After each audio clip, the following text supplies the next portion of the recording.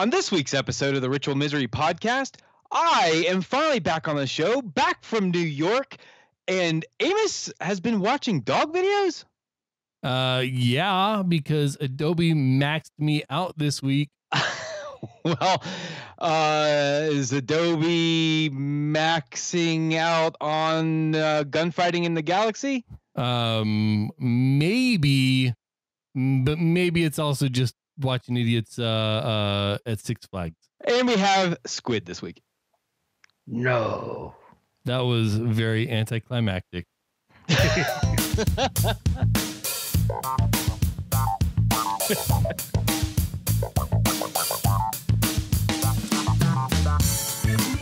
Hello and welcome to the Ritual Misery Podcast, episode 190 for Thursday, the 18th of October, 2018.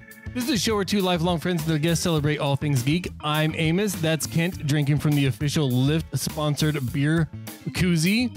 And this week we do have, as Kent just kind of mentioned before, Squid. How you doing this week? Uh, better now that you guys are around finally.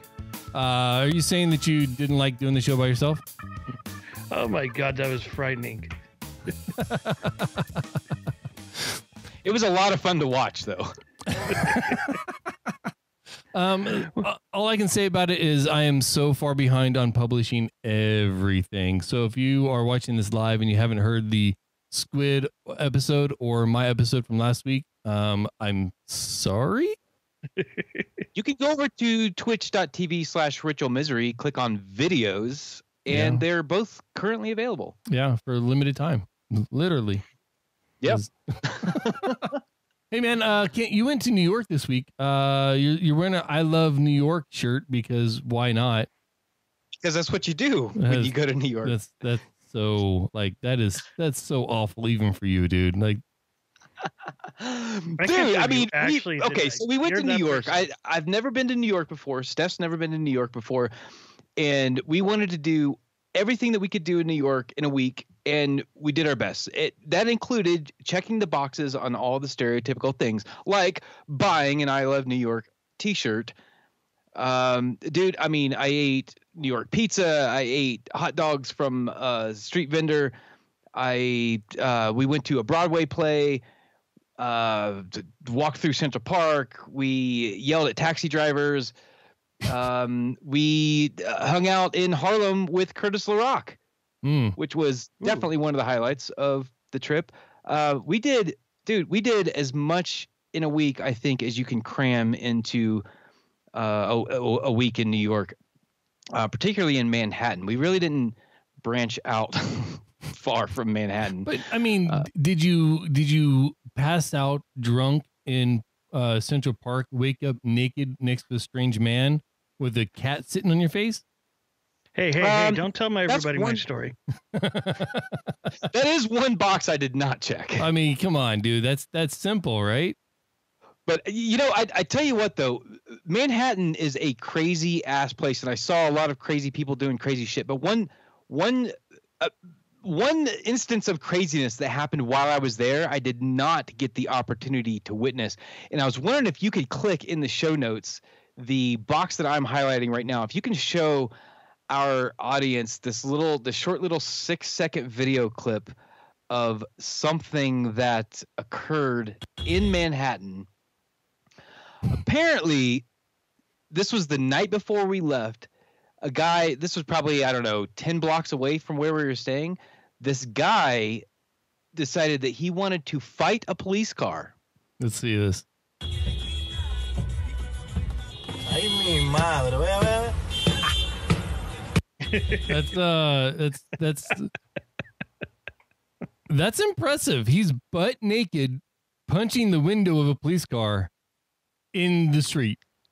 yeah Kung uh, apparently the, the the cops you know the, responded to the many many many callers and uh, went and got him and took him directly to a psychiatric hospital My kung fu more better than your kung fu. Sure enough. Yeah, yeah. For for what it's worth, he was whipping that car's ass. Uh, like the car really wasn't wasn't even responding. It was like it, wa- it was too shocked to to punch him back. That's Yeah, and what's what's super impressive to me is it's getting cold in New York now. It's Yeah. probably when that video was shot, it was probably about 40 degrees, and the man is completely naked, junk swinging around, Mm. like no fucks given by that guy. Yeah. Um, I MB wants to know if you got kicked out of a bar while you were in New York. Uh, no, I didn't actually. I, I think what it was, I didn't spend a whole lot of time in any particular bar. We went to quite a few bars, So you, and so you didn't try to work your way back into a bar you were previously in, only be told that you were too drunk to go in to try to fight the bouncer at the door because you just left. yeah, I mean, not that that's ever happened to me in any other city, but uh, uh, no, never. Um, So- In fact, Wow. one of the one of the points that we made was that we would never eat at the same restaurant more than once, and we would not drink at the same bar more than once. it's So good policy. yeah, Now, how long were you there? Was it like seven days or whatever? yeah, it was Tuesday to Tuesday. That's cool. That's not bad Yeah. at all.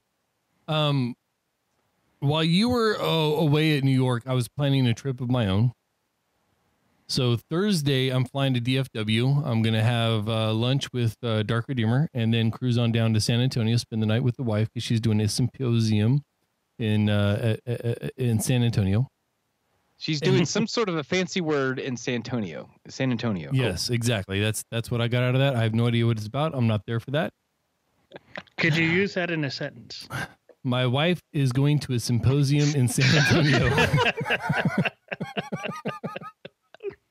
um, and then Well- Friday, we are driving up to Abilene, old stomping grounds, to visit some friends, uh, some friends that you've actually met, Kent, uh, AJ and Matt, and their associated wives. Um, uh, is this the guy that has the washing machine that talks to him? Yes, Okay. yes, that Got would that would be Matt. Um, Why did you not lead off with, we're going to see my friend who talks to washing machines? No, no, no, no, no. It, it talks to him. It's, yeah, there's a difference, Sean. yeah, Come if, if he was talking to washing machines, I would have led off with that. That's. So the Um, washing machines have an existential crisis. Uh, by way of an app on his phone, yes. Uh, and then uh, Saturday morning, we are driving up to a little town outside of Abilene to pick up our puppy, and then drive back to DFW and fly back here to uh, to Alaska. Um, we are actually picking up Sam's. Sam is my dog that died a, a couple years ago. We're picking up his nephew. Um, it's a done deal. The arrangements have been made, and it is it's going to be very, very interesting. So yes, I've been watching a lot of dog videos, and I know I mentioned that last week, but I uh, that's all I've done all week is watch dog videos on how to train dogs and not raise a shitty dog. Yeah, because you do not want shitty dogs. No, I I don't have the patience for a shitty dog. Like you know, so many people have just all the patience in the world for shitty dogs. I mean, uh, obviously, because because they have how many people dogs. have shitty Yeah, dogs. exactly. and and it, I am fully under the under the uh the the the thought process that it's not the shitty dog that makes the shitty dog it's the shitty owner that makes the shitty dog uh, or the shitty family that makes the shitty dog so um yeah i i don't i don't want to be a shitty owner or a shitty family uh so i i, I don't want a shitty dog so it's yeah well, if you accidentally get a shitty dog, can the shitty dog turn the family into a shitty family? um i think hmm that's a good quandary i know i know a good family can turn a shitty dog into a good dog Oh, all That's- right. Well, that's good. That, that's, that's, good. I mean, that's that's just that's just fact. Because Okay, I, I lost count at 25 shitty dogs. that's too many shitty dogs to have. that's that's This is mean, just, especially if there's a lot of shitty dogs happening right now. and one is too many. So Now, I'm just really it's not a disappointed that you didn't get a Alaskan Husky. Being in Alaska, isn't it like just like law that you have to have a Husky up there? uh no. No, No. uh, it's either a husky or a timber wolf. Uh well Uh, for for us it was either it was either one of Sam's kin like it is in this case or something way smaller than a husky or a German shepherd. So Dude, if it snows any depth, that dog's going to get lost. uh the German shepherd? yeah. N- n- Well, yeah, no, I mean, he's, German he's Shepherd like an albino, right? No, this one's actually more of a silver, a silver German Shepherd versus the blonde that Sam was. Ah, Yeah, we couldn't get the same color dog. That'd just be weird. It'd be, it'd be Sam too. Basically a clone. yeah, exactly. No, um, and Sam was was hundred over hundred pounds when he died, and he was eighteen months old. Uh, he didn't. He was not a short dog. Mm. Uh, Sam Sam was a was a, a large, tall animal. Mhm, mhm. Uh, we have we have an extra large kennel, and he was already filling that kennel up with his his girth, like you could barely move around in it. So, Kent knows, Kent met him. Uh, big dog. True fact. so yeah, I'm pretty excited about that. Like that's all I've been doing. Um, now, hopefully, none of us are part of this crowd. But Sean, you've been watching. Uh, says watching idiots lay in a coffin at Six Flags. Like, please tell me there's more to this than just idiots at Six Flags because that's kind of a non-starter for me. Yeah, it, it's always about idiots at Six Flags. But uh, this is true. last exactly. week there was this big promotion that they did all over most of the Six Flags around the country to sleep in a coffin overnight at Six Flags. In which case, you could go there, you could fuck with the people all day. When it became night, you could shine lights in their eyes, and they were just stuck laying there. And I decided, okay, let's go check this out because I'm not going to lay in a coffin. Yeah, I'm nah. This is getting too close for that to happen. So, wait, so I- hold on, wait, wait. What's the point? Like, why do people sign up for this if if people are just gonna fuck with them? I mean, you're not gonna actually sleep in it, Yes. No, they were actually going to sleep on them. but but with It is. people fucking with them and like shining lights and grabbing at them and I mean, That was- I don't know. Yeah, I, I- I think we're missing a central focus here, as in, what, what's the benefit for the people that are supposedly sleeping in these coffins and getting shit, get, getting fucked with? Like, uh, are they getting? Three hundred dollars, a free Oh. season pass, not like one of their memberships, just a season pass. One express band for one day during their Fright Fest, and a coffin. You get to keep the coffin? You get to keep the coffin. Oh, it's California. That's a done deal. They had people lined up at the door for this shit. Oh hell yeah! No, and that's the thing. The one here in California, only a couple people actually stuck around for the full 30. The one in um, St. Louis, like they stayed there for the full 30. In fact, they skipped uh, breaks. Hmm. so what, what? Thirty? What? Thirty hours? Yeah. Wow! 30, like 30 hours in a coffin. Like that they is jumped on Friday, they jumped into long the coffin time. at noon. Went all the way until 6 p.m. the next day. Meanwhile, they would occasionally have to. The only time they they would get out is like six minutes an hour to go poop. Yes, yes, being more poop. and then from there they'd have to like occasionally have to do like a scare zone or a haunted house by themselves where they fully packed it out like really when adam scared them. And then they would have like all the characters still dressed up all night staying there like banging on their coffins in the middle of the night and constantly screwing with them. And of course uh, up until closing you could stay there with them and like I said, people were sitting there with flashlights, shining them in their eyes, and yelling stuff and banging on the coffins. And okay, so as a matter of principle, this is something I could do. Because you tell me, okay, go do this. You get six minutes an hour to shove your face full of food or empty your ass. I'm down. Like, and I get to keep a coffin, get 300 bucks, a season pass, and a fast pass band, whatever it is for for for a day during during Fright Fest. I'm down. I could do that. Like that, I wouldn't Mhm. sign up for it, but if I had to, no problem. Like I'm I'm not afraid of that. Here's where it stops for me. as soon as that casket is closed and begins moving, I'm done. Like if you close the casket, I'm still good. I'm just sitting there chilling out. Okay, as long as it's not locked and I have a way out, I'm I'm good. As soon as that casket is closed and it feels like someone's lifting it up, I'm done. I, I, I I have visions of Louis being buried upside down in the walls in the, in a casket, and I'm done. Like as soon as the coffin moves, I'm I'm out. I'm out. wait, wait, what's the story about Louis? Interview Uh, with the Interview vampire. with the vampire. Oh, that's right. That's yeah, right. Louis, Louis got thrown in, locked in a coffin. The coffin turned upside down and then buried behind a brick wall. Uh, to to to sit there for eternity, upside down, uncomfortable and hungry. No, thank yeah, you. Yeah, but our, our Armando come get you the next night. It's fine. right, as everyone I love burns in the sunlight. No, thank you. Um, All right. I mean, that's one small detail. yeah, yeah. It's it's it's really the technicalities that get you on that point. Um. Okay, so uh, Ken, would you do this? Is this something you would do? And where's the line? Where, where's the line, either time wise or or construct wise, that you would draw the line if you would be able to do this? No, I, I would totally do this. Like uh, the the time constraint itself, like 30 hours is a large chunk of time, so it would have to be like pl- planned accordingly. Like it Mm. wouldn't, it couldn't be during work.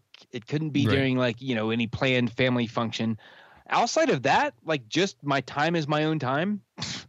I'll lay in a fucking coffin for 30 hours. It's Like 10, that's that's my kind of gig. Like not have to do anything. 10 that's bucks an hour to ignore people. yes, It's not a I'm bad deal. Let's do it. All right, so so where would you draw the line? Where where would you say, okay, enough, I'm done, I'm out? I mean, don't like set me on fire or like fill the coffin with fire ants or something.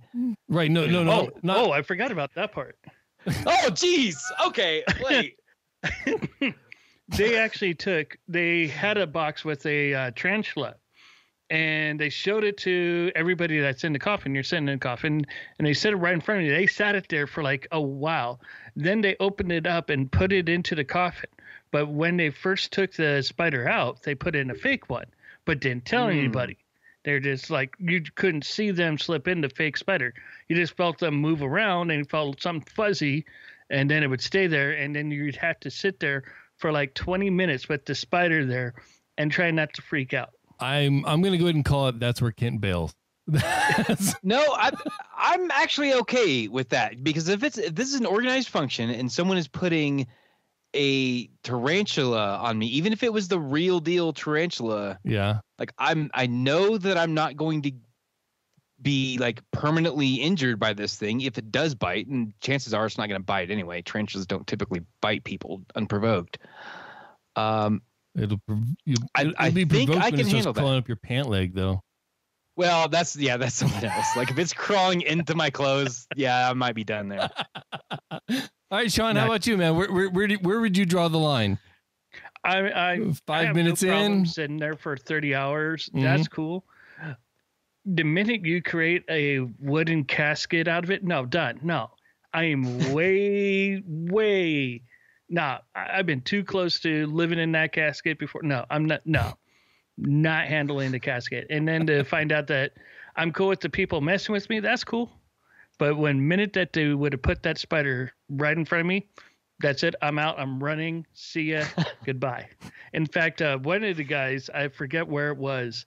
One of the guys, like as soon as they gave him a break, like the first break, he jumped, ran, grabbed a bunch of shirts, and booked it out of the park. damn Oh man. Uh, and that well, would suck if you're like at 29 and a half hours in and then that's when you hit your breaking point hmm. yeah. Um, a lone gunfighter in the outer reaches of the galaxy. Kent, are you? Are, are are you having? Is this one of those dreams that you go through every once in a while, where you're like the, the, the illusions of uh of of of awesomeness? Grandeur? No, no, not like grandeur. Even you can't imagine that.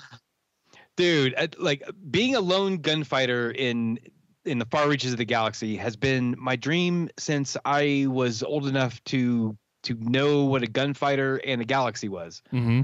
uh, i mean this is like my star wars wet dream and that just happens to be the base the basic show synopsis of the new Star Wars TV show that is coming out I believe sometimes sometime next year began filming. It's called The Mandalorian. And yeah that's what it's about. It's a lone gunfighter in the outer reaches of the galaxy. So basically what I picture in my head is is the good the bad and the ugly set in the Star Wars universe where the main protagonist where the man with no name is wearing Mandalorian armor. And it's it's uh run the show is run by Jon Favreau who you probably know No, from, no. Oh, you don't like Jon Favreau? He's no, a I was so I was so everything was so perfect. I was like waiting for and it's and the showrunner's going to be Joss Whedon, and I was just going to lose it and go, okay, I'm down, I'm in on it. Yes, I've got to see this. Well, okay, so one of the directors that's been announced for this is Taika Waititi, who directed uh, Thor Ragnarok, and I am super stoked for this show. I cannot wait. There's a it's actually I put a link in the show notes for the official Star Wars.com page where they reveal a a photo from the Mhm. set and it just it gets me more and more excited when I was like 4 years old and I saw Boba Fett for the first time I fell in love with that character mostly because of the armor because let's be honest the character doesn't actually do much of shit So in- you're in saying you had a Empire Strikes Back. Mandalorian chub? Yeah, like it's. Anyway, I'm just I'm so excited for this show. It's got so much potential. They're they're putting a lot of talent behind it, uh, dumping a lot of money into it. They're putting off uh, making some of the the newer films. Like Episode Nine is still on schedule, but all other films have been postponed. This is like the next live action thing that we're gonna get to see. Mhm. I'm super duper stoked for it. So what do you think about all the other stuff being being shelved for now, like being p- postponed, delayed, whatever? With Good Bob, idea. With Bob Iger coming out and saying, "Well, the reason we're doing this so quickly is because of me. I'd made the decision." Yeah. Um, I because a know, lot of I- people, a lot of people are giving. Uh, oh, what's her name? I haven't just it just left my mind. Ray, uh, no, the the head Kathleen honcho of Kennedy. Oh. Lucasfilm. Yeah, Kennedy. Kathleen Kennedy. Yeah, a lot of people are giving uh, Kathleen Kennedy a lot of grief over the pacing and the release schedule, and there, there was just too fast, too much, too soon, not not spending the time on it and everything else. And for Bob Iger to come out and say, "No, that that was all me. I was the one pushing that. I was the one. I was the the the lone consultant on that as the CEO of of Disney." Um, w- does that change your perspective on things a little bit, or or were you always a Kathleen Kennedy purist, or what? No, I mean, I, I, I'm not a loyalist to any particular, you know, figurehead. I, I think Kennedy has done a good job uh, being the overall producer of Lucasfilm. Uh, the, pacing was a bit aggressive for the release schedule. I didn't mind it because you know what? Give me more Star Wars. Oh, you gave me five movies last month. Okay, give me more Star Wars. Like my appetite is so huge for Star Wars. However, um, from from a pop culture standpoint, from a um, uh, fan fatigue standpoint, yeah, their release schedule was was aggressive, especially releasing Solo. What five months after Episode Eight? Mm-hmm. Uh, that's Yeah. that's too much, too quick. Uh, so I I think slowing down the pace, maybe coming out with a new movie every couple of years, maybe maybe go back to the the old school schedule of eh, once every three years, but have a live action TV show going and and a cartoon going at the same Yeah. time. That's Here, you know that's good amount of content. here's where still. here's where I'm at. I I love what Kathleen Kennedy is trying to do. She was always the savior of what Lucas was screwing up. She she was like the one voice there that kind of put him at bay a little bit. So as long as it's not Lucas screwing up his own perfection, I'm okay with that. I really am. Yes, this the schedule was too much for our our feature length movies, but Rogue One would have been an awesome TV series. Solo could have been an awesome TV series. Uh, do like they did with Mandalorian. They they were going to Mandalorian be filmed. They said no, film. Let's make it a series. Let's make it an eight part series so we could tell a full length, fully in depth storyline. And hmm. I know I shit on Jon Favreau just now. I don't mean to. I love him. I mean, I got a Swingers poster sitting right up there. So my love for Favreau is is deep, way deep. I mean, I still sh- sit there and shout Rudy, and I still, I mean, trust me, I love Favreau, and he's going to do great on this. It's just, I want to see more of this in-depth storytelling. We're we're a we're we're a binge culture culture now. So make it make them longer, spread them out more. Let us like binge on this one piece and kind of chew on it. Let that steak sit, uh, savor in my mouth. Mhm, That mhm. Um, I'm I'm of the mindset that, especially with like Mandalorian, the the uh, the concept of taking some of this stuff. I'm I think I'm in the Scott Johnson camp. Like I want to know stories that have nothing to do with anything we've ever seen ever so far. Like Mhm. I don't even want to use the role playing books as like like guides. Like take me somewhere way out there, the other side of the galaxy, on some planet no one's ever even conceived of yet, and show me some random stuff. Show me show me some some flies with Jedi powers. You know, I mean, show, show me something that is just completely left field that still ties in the overall scheme of Star Wars. And if you want to slow the pace down to make that happen, if you want to ch- change how you're presenting the material, not just you know to take more time to produce quality material, but to to put an artificial starvation period in there to you know make us make us thirst for it a little bit more. I'm Mhm. all for it. Like everything that I've heard about what Kathleen Kennedy, Bob Iger, and Disney in general is doing with Lucasfilm right now, it sounds like they're really, you know, they're like, hey, you know what, this Marvel thing, this Marvel thing really worked. Let's stop trying to invent the reinvent the wheel, and let's do what we do with Marvel, but at, at Star Wars' own pace. And I think that's going to be amazing. Uh, and it's it's not just that. You also got to put the right people in charge and let them take their choices and let them stay with it. Yeah, i mean some of the some of the bad stuff that you hear about solo is because they didn't allow the original directors and writers to keep going in that path. Let it go down the path. Have faith in those guys. They're they're Well, we- bigger we fans don't- than we are. we don't know the status of Solo pre Ron Howard. We- well, so the one thing that we do know is that the uh, Lawrence Kasdan, who wrote the film, uh, was pissed off that the directors were going way off script, and Yeah. because they were supposed to make the movie that he wrote, and they were writing like something loosely based on the script that he wrote, and uh, Kasdan holds a lot of weight in Lucasfilm, and uh, that's I mean, there's I'm sure there's a lot more to that story. Uh, but that was like one of the main pushes for it. yeah. Did did they do any more primary shooting or, or secondary shooting after Ron Howard took took the helm? Oh Yes. yeah, Ron Howard like reshot like half to three quarters of that movie. Oh yeah. Yeah, Oh man, I bet the bud- budget was just demolished on that one.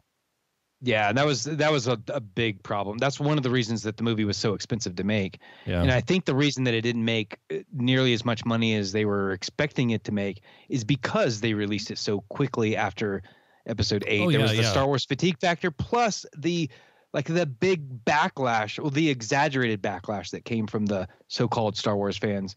Um, et cetera. et cetera. I mean, we can Yeah. debate that, and we're not going to Well, do that here right now. But I I think but the backlash from episode eight caused a lot of the uh, consternation, or I guess reservations about people going to see Solo. when you're sitting in a Star Wars movie and one of the trailers of that Star Wars movie is another Star Wars movie, Star Wars movie. yeah, right. somebody screwed something up.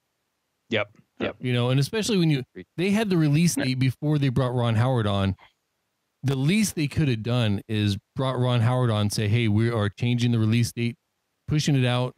They have all of the rest of this year, and then most of the beginning of next year to really have still have a safety zone before nine comes out uh, at the end of next year. They they need to just make Mar make make it Marvel May and Star Wars December and just stick with that because that formula really really works. Yep. You still kind of get that. fed on both directions and you don't have to worry about crunching because you're talking about one of the biggest movie release years. I mean, you had Ready Player One, you had uh, Quiet Place, you had um, the Avengers, you had Well, Solo, you no. had so many big movies. How how um, much of this this compressed schedule they had Star Wars in, and, and particularly Solo, was based on the fact that Disney is also the major player in so many movies late summer and going into this winter.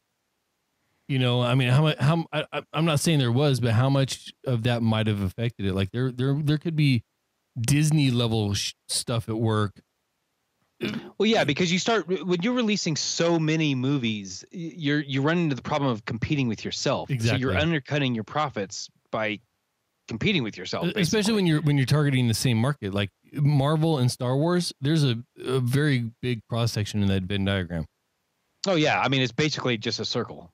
yeah And I then mean- you add in um, any of the Pixar's or any of the Disney fandoms that also cross over right into that as well. Mm-hmm. yeah Exactly. So, all right um man if if uh if you were looking on this show for some geekery and you haven't found it yet then there's something very wrong with you because that just happened. Uh but it's time to move on to some uh some some more geekery actually. La comic-con is coming. Uh sean are you actually attending this year or are you just gonna be one of the one of the the resident non-attendees? Oh no, I got my three day weekend pass, and I'm probably going to shoot down after work um, from uh, Thousand Oaks. Going to shoot down to downtown LA, pick up the pass on Thursday, so I don't have to worry about doing that on Friday. Hmm. But uh, this year it's going to be really, really interesting because this is first year without Stan Lee's presence, and I, d- Hmm. I just I almost didn't buy tickets this time, only because that would have hurt too much. I mean, whenever you go, you feel Stan Lee's presence there throughout the entire place. You can run into him and he stops and he says hi. Everybody around there's like it is one of the most positive cons I've ever been to. Like there is no crowdedness. There everybody takes care of each other. Everybody makes sure everybody's got room. Everybody helps each other out. It's not about hey, get out of my way. I'm standing in line here. Let me crowd up this line for the panel. It's like no, they even have panels right there on the floor, so you don't even have to worry about standing in line. But this year, without Stan Lee's presence, you're now seeing like a huge VIP section. Like they're walling off half of the staged area just for VIPs. Mm. Which what is the what is the reason for his non-attendance? Is it just uh, poor health or? I, I think it's poor health. It's also uh, the crap going on with his daughter, the stealing of his Mm. blood to make comics. Uh, the, uh, to put it in Yeah. Ghost Rider comics to be exact, uh, the mess up with uh, his financials. I mean, losing what thirty million dollars. Yeah, but I, I think well, see, I was under the impression that he was he was putting his, his basically putting his empire back together. Like he was in he was well down the path of of getting everything back. He, got back his social media accounts, um, uh, getting you know control of his money back, and all of that sort of stuff. I thought he was kind of uh, not necessarily whole again, but but well on his way. he's almost there. You can you can tell like um, he's starting to produce more stuff. He's starting to do more articles and letting more people back in. But you can Mhm. tell. I mean, this last article that he did with his daughter and her his daughter's lawyer, you could see the man's just broken. He's hurt, and it, it hurts a lot of us that actually run in. I mean, it's hard not to run into him in L.A. unless he's not leaving his house. I mean, there hmm. are one of the best things to do is go on Stan Lee sightings, Hmm.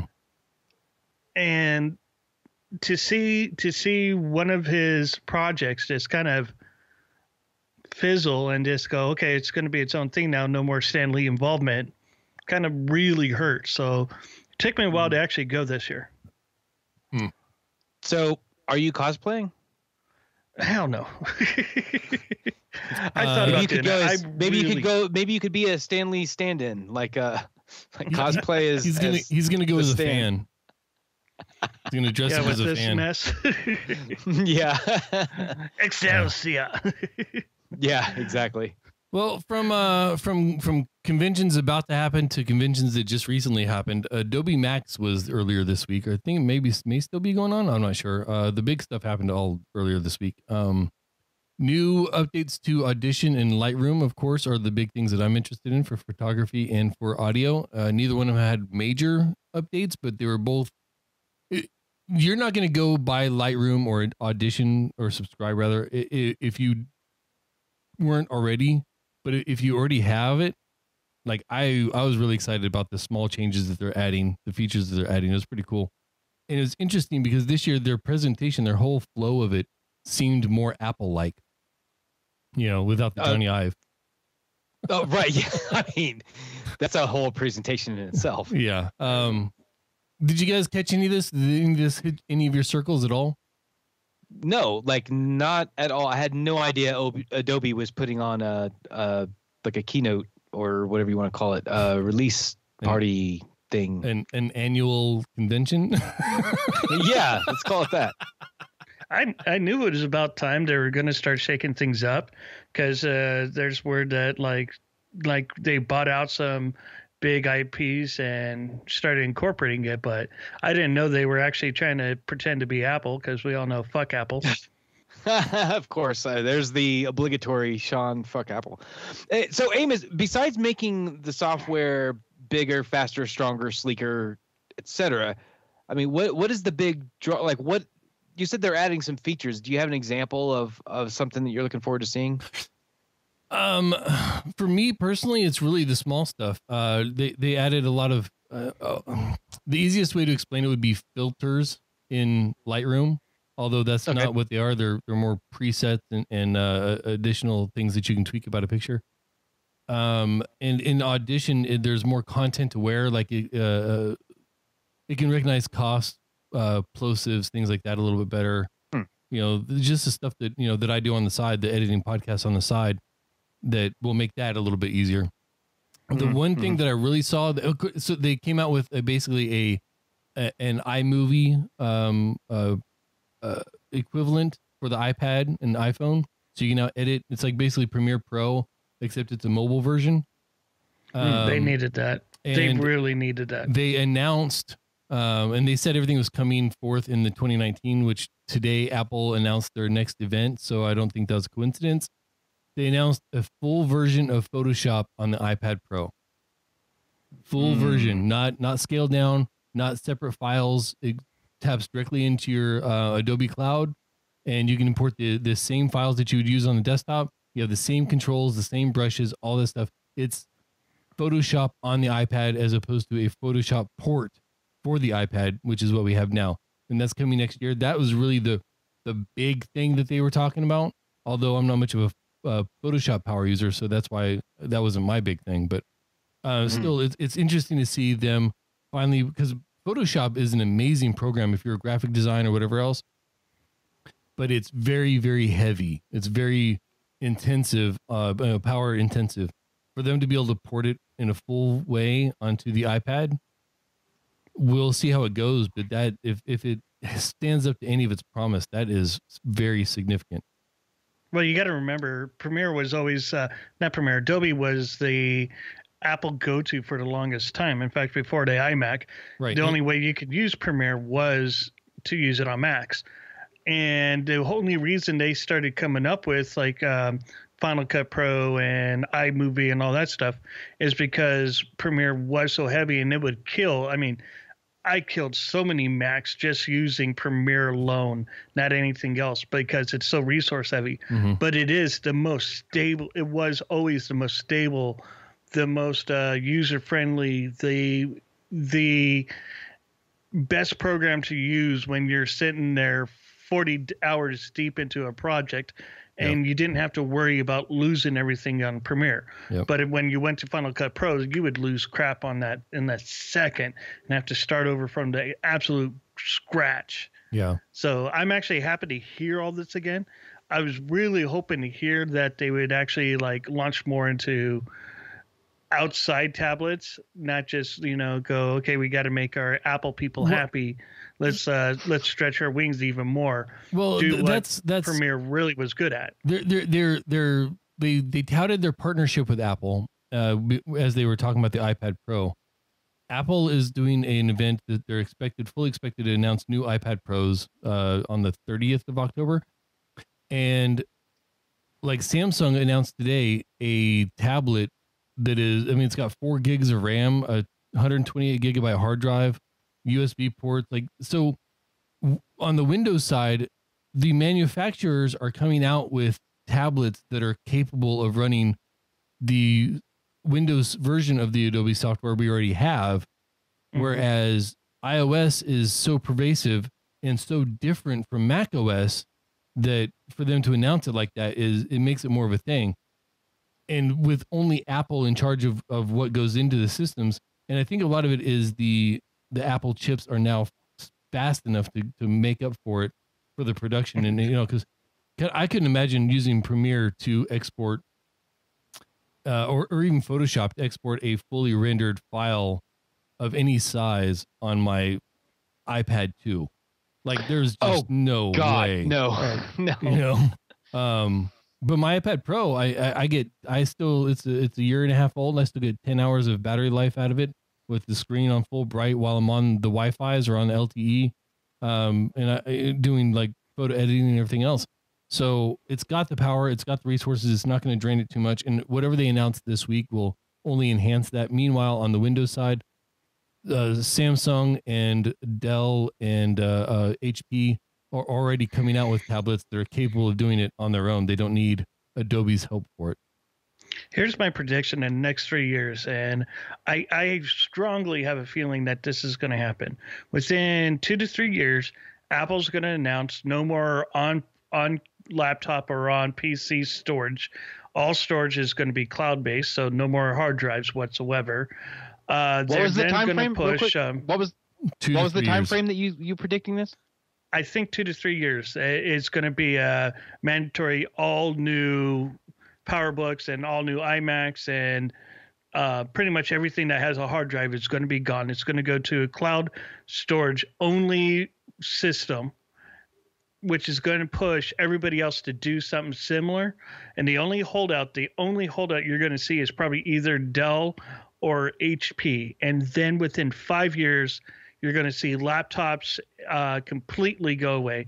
And the only desktops you're going to see around are specifically going to be um, Power user. gamers only. Yeah. Power users or gamers.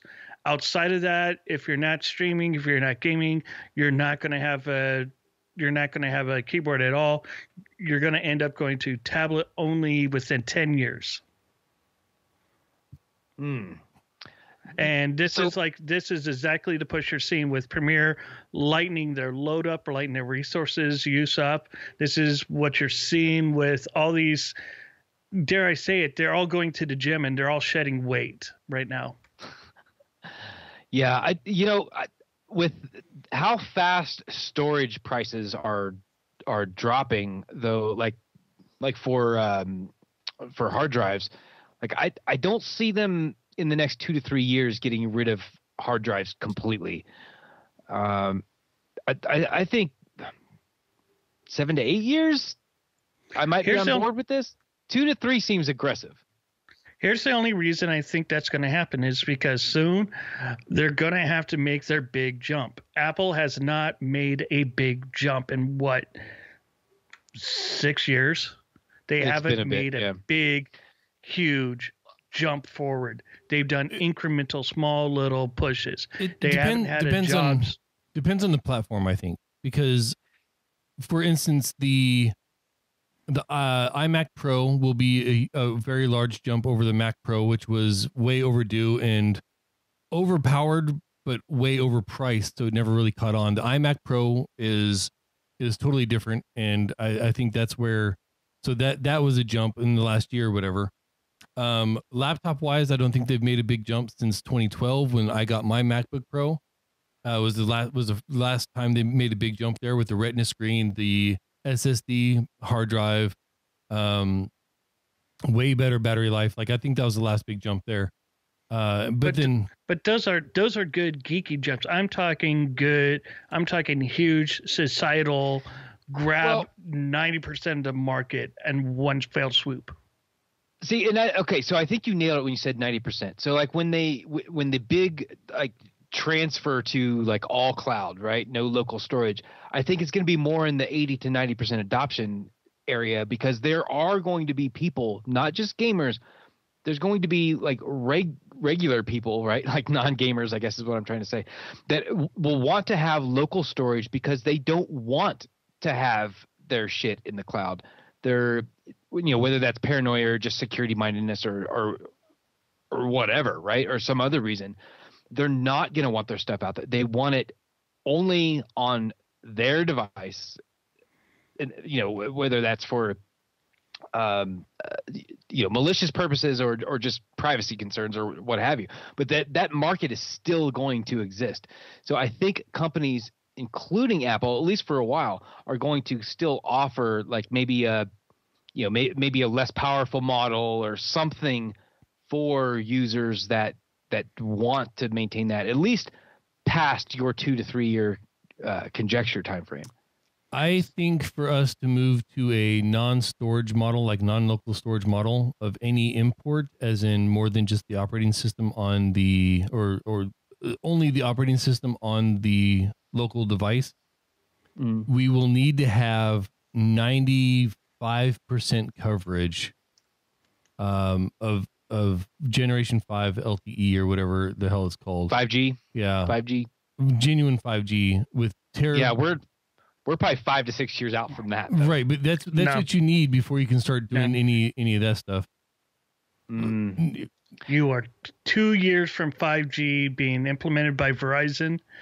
Uh, then you're going to see AT&T try to jump on Well, Ver- and sweep Verizon's that, and then you're going to see T-Mobile now that they're combining The, the problem come is, in see, with now, big network. yeah, two two years out from L.A., New York, Chicago, Dallas having it, well, Verizon's Seattle, already already probably, but Verizon's but already Oxford, in the market. Indiana having it, we're way more than two years out. Right, that. which is why I said 95% because you're going to have the the out cases regardless, but once you have like 95% of people with more than a gigabit connection on a mobile device with decent battery life, then you can reasonably within about 2 years, about one generation of devices start seeing Hmm. hard drives essentially disappear, but not until then.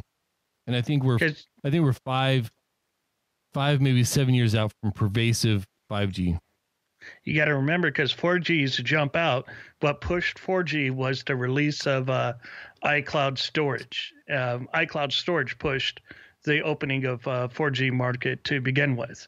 So if I, so if Apple pushes a storage list altogether, that will you'll see one gig plus really get pumped out really quick. Yeah, I think it's just it, it's the it's the infrastructure build. Like, who's going to pay for it? You know, I mean, if if Apple's willing to invest in 5G infrastructure across the country, then fuck, like that, everyone will adopt it tomorrow. Uh, but Yeah. I, I think we're I think we're a little bit further out Hmm. from from getting all of that in place. Well, if you'd like to know where we're further out from, you can cruise on over to patreon.com slash ritual misery. Uh, if you give a fuck, give a buck and help make this show possible, help us do fun stuff like going to South by and uh, and and and having cool t-shirts made and things like that. So patreon.com slash ritual misery. That's uh that's where you can go and that's where we'll be. So see you there. I'm gonna double down on my challenge. I want people to show up like with uh with the five dollar pledge. I mean, come on, kick in five bucks. That's less than a coffee now. Just kick in five bucks. These guys are worth it. Watch their show grow. Let's get them out in the open. Hey, maybe we could actually get them to come to your town, have a little fun, goof off, shoot some silly ass videos, and actually like start taking on Night Attack for the King Spot. Tired of them being the B team. That's ambitious, uh, but Yeah. that, but yeah, that would be fun. All of those things would be fun. We we love to go out to um, to different cities and and meet people, and um, South by is always a good time. And um, yeah, we would love to do live shows in your city, wherever that might be. Uh, so yeah, Patreon.com/slash Ritual Misery. Uh, give a fuck, give a buck. Amos, a movie draft minute this week. Welcome to your Movie Draft Minute presented by DiamondClub.tv for the week of October 15, 2018. I'm your host, Big Voice Jay. What happens in Vegas stays in Vegas, except for herpes. Somehow it got upgraded to first class. Let's go to the scoreboard. Teams Game Night and Have a Drink are all tied for last place. Team Vaughn Squad's found some Goosebumps fans out there. They've also found fourth place with $17.8 million. Team Movie Party's First Man and Bad Times at the El Royale combined were third place and $28 million. And Across the Chasm is second place. And Team Drunk Kids Gaming with $148 million. And continuing to harness the power of A Star is Born and Night Jewel for first place with $162.4 million, it's Team Ritual Misery. That's your movie draft minute. All totals are accurate as of October 17, 2018. I gotta hand it to you guys. I did not see a Stars Born doing that kind of numbers. Yeah, dude. Like I, I called it too. I said this is a second week movie. The opening weekend was a little bit disappointing. Second weekend, we pretty much cleaned up. Mm. So I'm not disappointed with that purchase. Um, I don't know, man. Amos, we are in first place for what the third week in a row, fourth week. How, how Uh, far into this are we? Uh, about. I'd say about three quarters of our first place run. I think we got one more week of first place. Yeah, exactly. Uh, dude, I think we are going to drop into second place probably either next week or the following. yeah. Uh, quickly followed up by third place, uh, like, I don't know, another week or two after that. We're probably going to linger around fourth, fifth place until uh, Wreck It Ralph 2 comes out. And then I think we're going to jump back up to either second or first, and we'll see if. If all goes according to plan, we're going to jump back in the first place, and it's I kind of a matter of can we hold it? I, I see us in a death spiral. We don't have another movie until halfway through the draft is over. Um, and then we have one last movie, but it's not even at the end. It's kind of like the middling at the end, like the beginning of the last part of the se- season. Um, and that's Mortal Engines, and I, I don't know how much I expect from that. Hopefully, it'll bring in a hundred million dollars, but I'm not I'm not yeah. Not Ra- confident. Ralph We're- Breaks the Internet needs to be our Incredibles 2.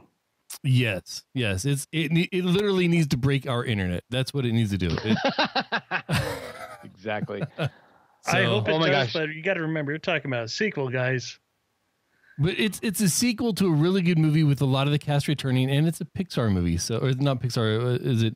It's uh, It's uh no, it's Disney. It's just It's uh, Disney. straight, like Straight Disney, Disney. animation. yeah. So, Yeah, but come on. I mean, it's pretty much done by the Pixar guys. uh, yeah. I mean, but- there's probably a lot of talent crossover for sure. Yeah. but it's, it's flying under the under the uh, the Disney banner. Um, so you guys are movie guys, and you are also '80s kids. So I put together something that that also has a uh, big voice J voiceover intro. Can I please have your attention? In the last 30 minutes, Kent's done something. Now you've got to guess. He was very excited. Kent's Games. Play with him. Play with him. Play with him. that is I the call one this way to say game. Kent's Your favorite comedy movies are from the '80s. Hashtag me too. oh, Oh, oh, jeez. So what I'm gonna do is I'm going to read a a plot of an 80s comedy movie. It's gonna either be the overall plot or just a, a major plot of that movie. I'm gonna read it to you in modern day sensibility terms, Oh, and then you are going to tell me which 80s comedy movie I'm describing.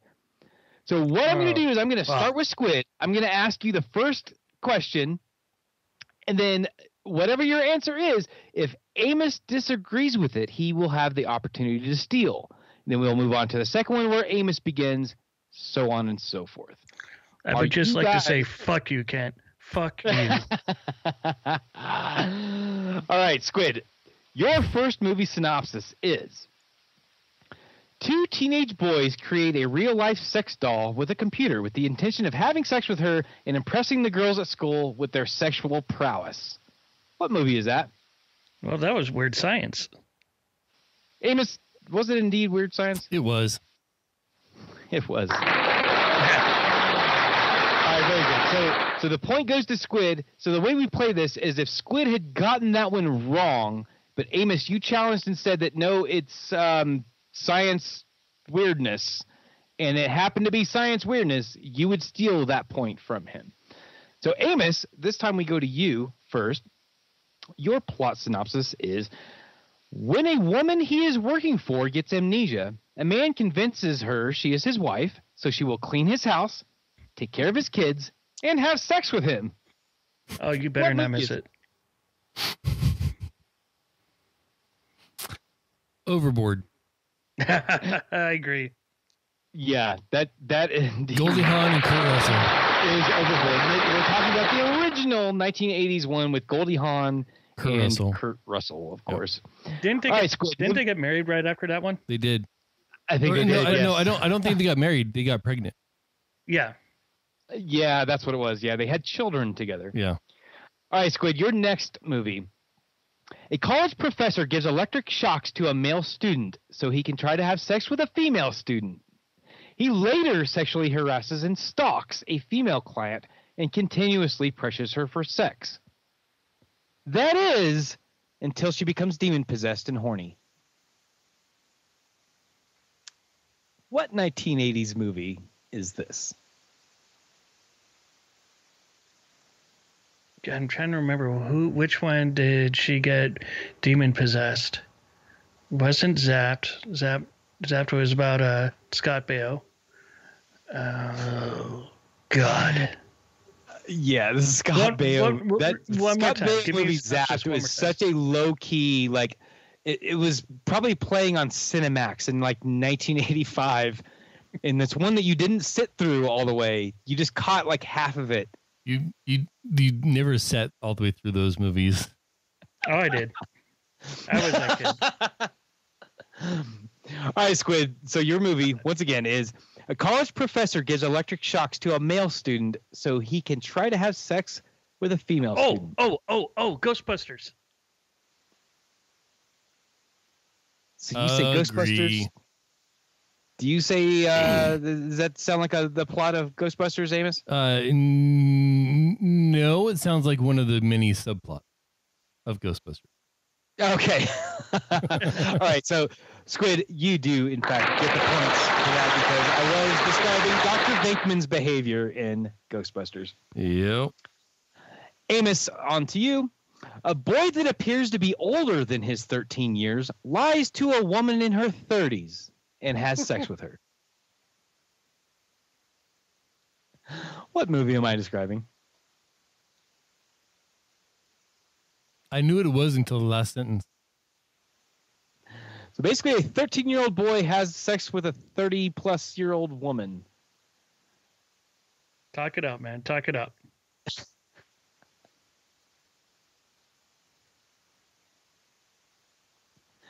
A boy that appears to be older than his 13 years lies to a woman in her 30s. I'm gonna go. has- I, I I just don't know about the last part, but I have to go with big. yeah, I agree. Okay. Squid, what do, you, what do you think? Is he is he right on that one? Oh yeah, because it's a classic Zoltar, Zoltar show. Yeah. yeah. It is starring the Academy Award winning Tom Hanks, but not for that movie. All right, Squid, I just- over to I you. Did, I didn't remember them actually shagging. I remember her, him getting on the bed and saying, "Okay, well, I get I get to be on top," and then he gets on the top bunk and like she's supposed to sleep on the bottom. I don't. I, uh, so yeah, okay, all right. Let's Didn't go. didn't it happen on the trampoline or something like that? I I, th- yeah, I think so. Or like in the ball pit or something. Yeah. like I don't know the shimmy shimmy cookie puff.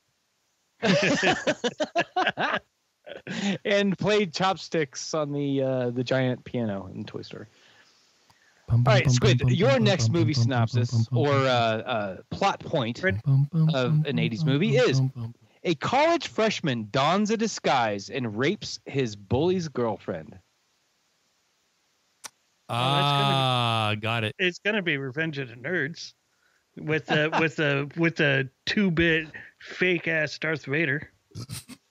Amos, do you do you agree with that? Mm-hmm. Dude, that's my course, that is Revenge of the Nerds. That was Lewis Skolnick hmm uh, tricking My- his bully's girlfriend into thinking that he was, in fact, There, boyfriend. there is a documentary about the making of those movies, especially the first one.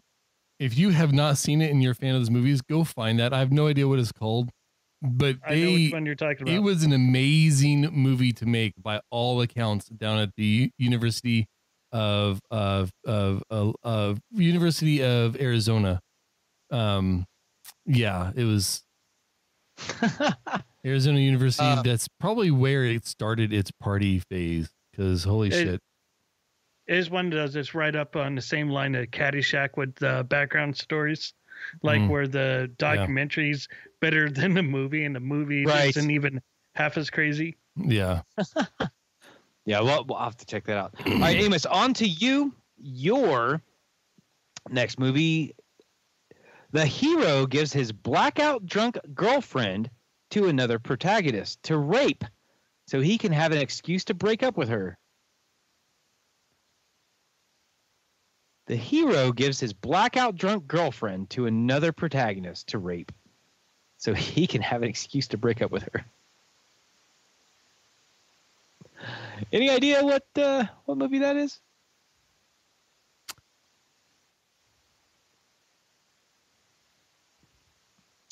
No, I I know it.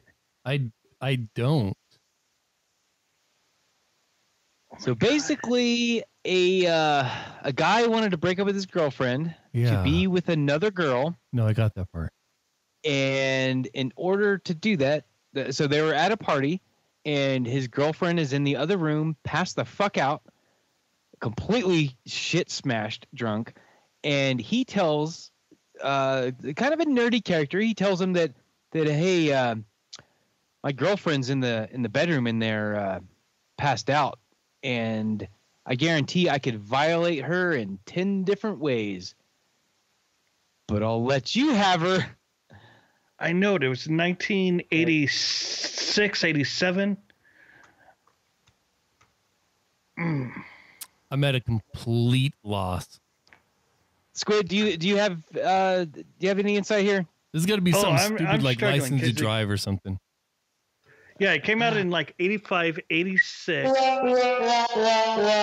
gonna go ahead and call this one. That was, folks, the Howard Howard Hughes class or uh the, Sixteen the uh, damn it, what's his name? Not Howard Hughes. No, What's his name? Um not Chris Columbus. Uh, Chris. Um, John Hughes. John Hughes. Thank you. Thank you. John Hughes. I'm like fucking Howard Hughes. Jesus, that was not that guy. No. Not the Elon Musk of of eras past. um, but yeah, the John Hughes classic, Sixteen Candles. 16 Candles. Nailed it. Yeah, I think that one was like 1983, 84, I something was like trying that. to think of a John Hughes movie and I couldn't think of Oh. anything besides Breakfast Club and I was like, ah, so and then Well, that yeah. th- that plot was used before. It wasn't just then. Oh, it was used in um. That was a plot point in a lot of 80s lot of movies. Every John Hughes movie came from another movie. It was just done better. basically, Well, basically. done All right, more so more we- prescient we for the move time. on- we move on to you for your next movie. Which a you? teenager. What's Yeah. that? Which you? You. You? You. Squid. Squid. Yes. It is Squid's turn. Squid. Here is Squid's next movie. A teenager schemes to sexually assault his mother and get beaten up by his father.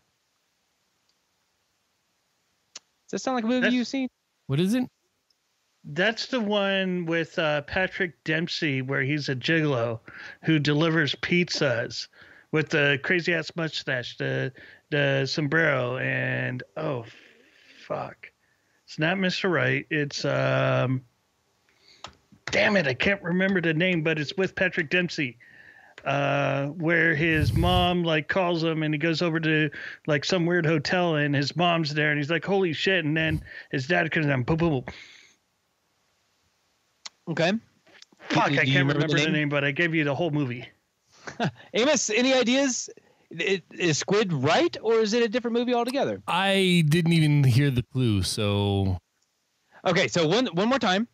A teenager schemes to sexually assault his mother and get beaten up by his father.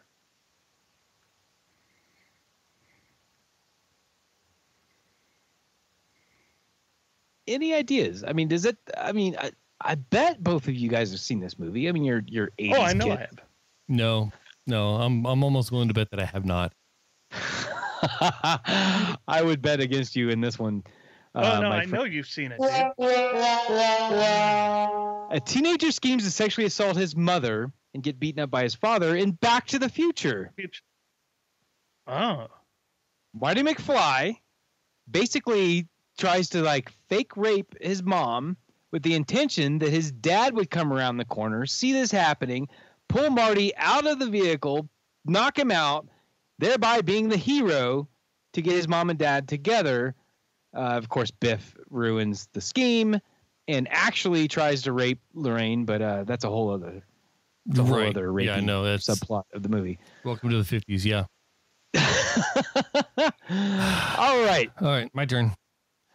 uh, You'll- These Sure. have, these have gotten progressively harder. You've done better with the order. I like this. All right, Amos, your next movie and the final question Uh-oh. in this contest, uh, which Amos, this gives you the opportunity to tie Squid Mhm. at three points. A group of high school boys drill a hole in the girls' locker room so they can watch them shower, and one boy sticks his penis through the hole. I think. oh, I remember my knows first time watching that movie. Amos, have you seen this movie? It's it's funny that you complimented me on making these harder. I basically just spelled this one right the fuck out. Oh, dude. oh man. Um,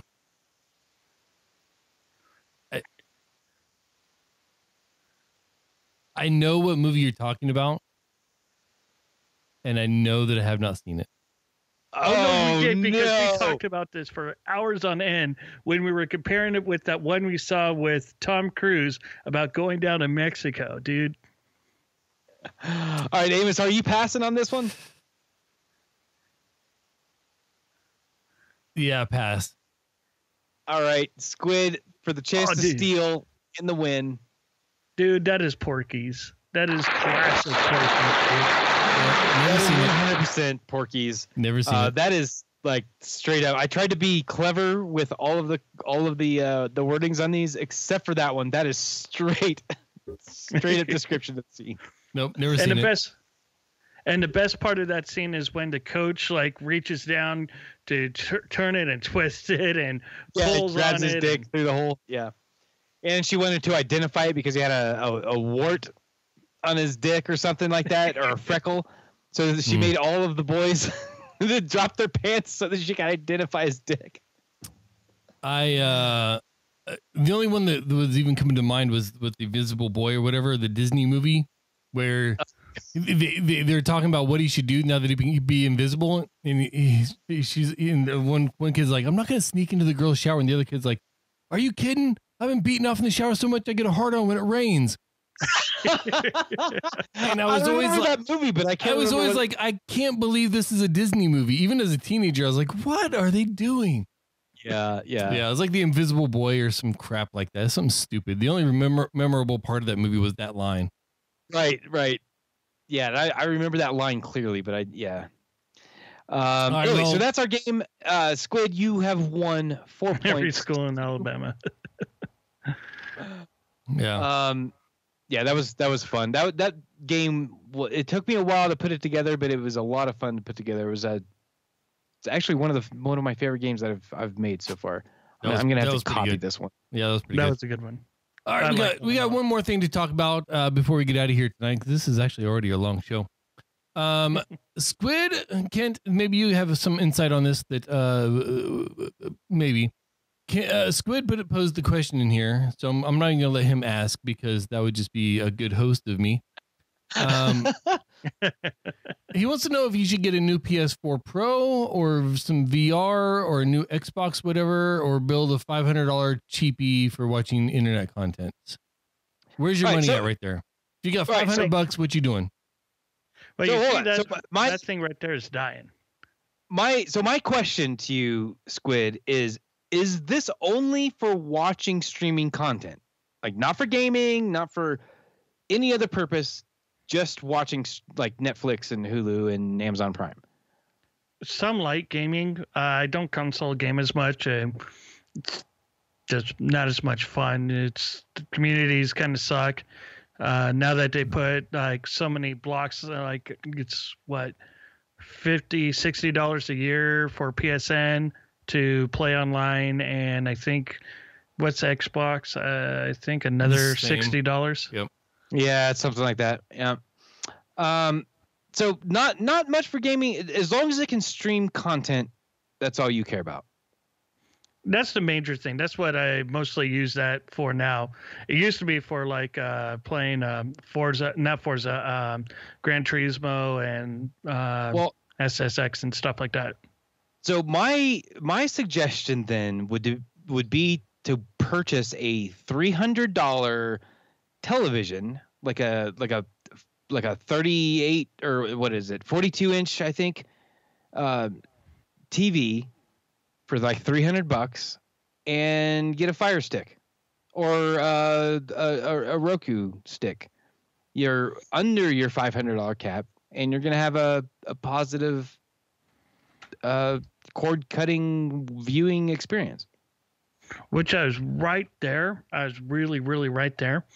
Only thing is, like any like on TV apps that they have are Wi-Fi killers. Like they suck up all the bandwidth. I don't know why. Why you know you could do the same streaming on a PC, doesn't suck up all your bandwidth, but you watch it on TV, it like drags. Interesting. So I I use Apple TV. I know you're you're a big fuck Apple guy. I use Apple TV, and I have not noticed any degradation in my streaming. So like I can have uh, someone in the living room watching Apple TV, like Netflix on Apple TV, uh, while somebody's on a PC in another room watching um uh, Amazon Prime or something like that, and I don't have any degradation on my computer.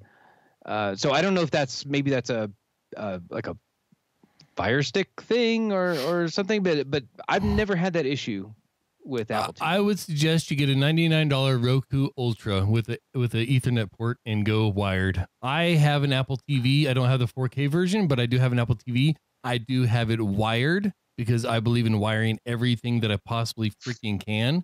Um, Yes. And I've never had any problems. But for 99 bucks, you get a Roku Ultra, plug it into the Ethernet port, and stream all that you want all Yep. day long. Or absolutely or get Apple TV, the 32 gig version, because you don't need the 64 because it's kind of pointless to have the 64. Um, get the 32 gig version of the Apple TV. I know you hate Apple, but at least it's the least Apple thing you can get. And you, you get that thing. Um, and uh, that's what 149 or whatever. And it's got a little bit more capability than the Roku. Um, it's a little bit more closed off, but you still get all the same functions that you normally would. And you wire that damn thing in and call it a day. That's- wiring that's would wiring it in is the key If that's you, the if you are not playing games, screw all that and just get get the get the streaming box. That's what I would recommend. And if you just want to play like a random game here and there if you get the apple tv you can actually download games that you can play with your apple tv remote on your television or you can buy like a, you know just a third party remote and do it. that, yeah there you go Yep. so You can- there you go that's that's my yeah i'm i'm solid with amos on this one Yeah, or get an Nvidia Shield and you get all the streaming and you get Steam. Yeah, Ooh, you I could be the third that. person on Earth that actually still uses. Hey, NVIDIA there's like there's like five. All right, yeah, you could be number six. If ever there's I'll an over six. yeah if there, if ever there was an overpowered um streaming box, it's the Nvidia Shield. right. So, um, but even even the Nvidia Shield, what is it like, two hundred bucks or something like that? Probably, yeah, it probably is. Like, it's I don't know. It's to me, it's way not worth it. Um, let's go. What, what, what do you think, Squid? It- d- d- what What do you think of our suggestions? Ah, uh, God buying anything Apple's like mm, stab in the heart, Hundred- stab in the heart. Nvidia Shield is one hundred seventy nine dollars ship. Oh wow, I didn't realize it was that That's- low. Uh, it's still one of the more expensive options, but I think so. If you are solidly anti-Apple, I I would say a Fire Stick or probably go with like the Roku Ultra, like Amos said. The Mhm. key though is wire it. Uh, throw throw a Cat five or Cat six into that bitch and wire it directly to your modem. Uh, that way you're not touching your your Wi-Fi bandwidth, Yep. and you should be pretty solid as long as you've got like a you know a decent uh, down uh, bandwidth, yep. like a you know 100 100 down 100 uh, gigabit down. Or, I'm sorry, 100 megabit down, or or sorry, Right. gigabit. Jesus, what the fuck decade Thing- are we in? Things and stuff. Uh, but if you get like hundred down or somewhere in that neighborhood or, or better, than like wiring it, you're not gonna hurt your your Wi-Fi bandwidth in any way whatsoever. Okay. And that was my concern. That and um, now that everybody Disney's like moving their streaming to solo streaming, Fox is trying to get Fox Now to, off the ground so they can get away from Hulu. Hulu's like becoming just Hulu only, and everybody's coming out with some form of a streaming channel. Everything's going to start Mhm. costing thirty bucks a month and or ten bucks a month. yeah, yeah, exactly.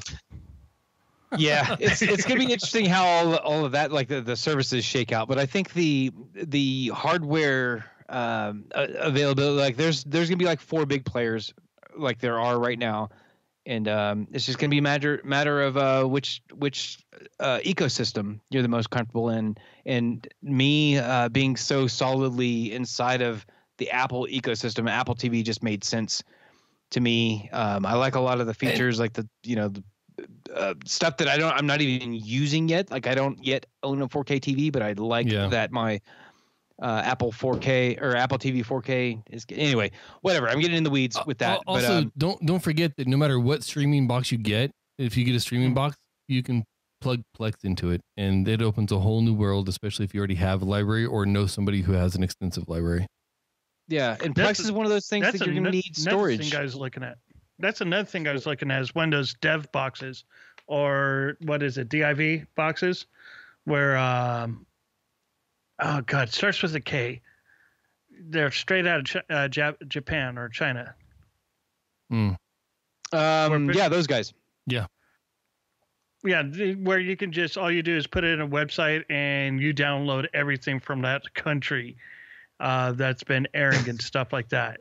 Yeah, That sounds So- like um, in that gray area of legality. Like it's Yeah. not uh, it's not black market. It's not um, you know free market. It's like gray market type stuff where Yeah. it's Well- not necessarily legal, legal, but it's not necessarily Illegal. prosecutable either. Yeah. So all right. I don't um, know. Um, so if, if you have suggestions for Sean, uh, where can people send those suggestions at, dude?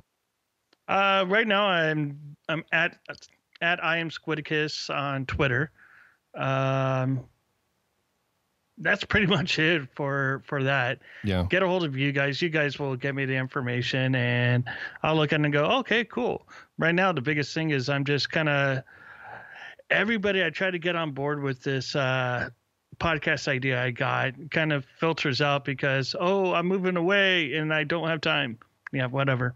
So I'm looking for someone who's a little ambitious, that's really deep into music like I am, who's uh, not willing to, who's not afraid to spend a uh, couple of hours a week to come up with some weird ideas and put uh, playlists together on the strangest uh, topics.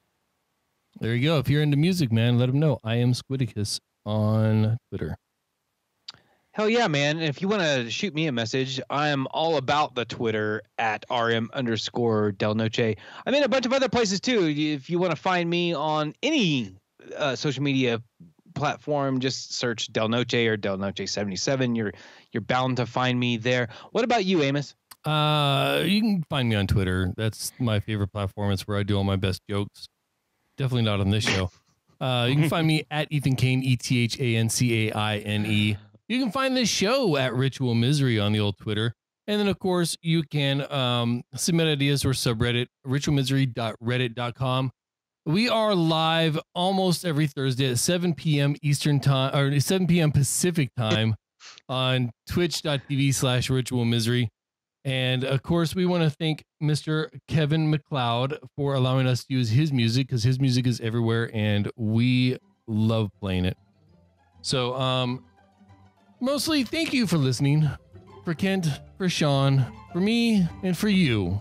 This has been your Ritual Misery Podcast. See ya.